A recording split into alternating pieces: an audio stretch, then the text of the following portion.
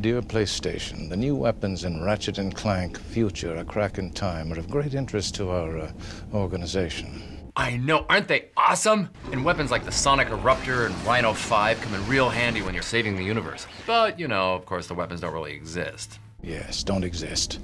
We'll take all you've got. But they're not. The money's already in your account. Ratchet and Clank Future, Crack in Time, rated everyone 10 and up. PS3, now $2.99. PlayStation